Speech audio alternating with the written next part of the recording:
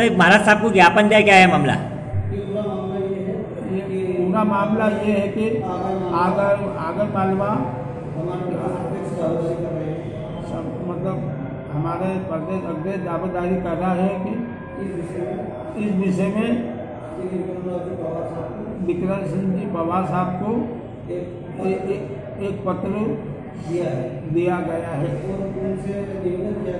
उनसे नि- उनको निवेदन किया गया कि ये पत्र ये पत्र ये शिवराज जी चौहान को तक तक पहुँचाने की हो गए तो आश्वासन दिया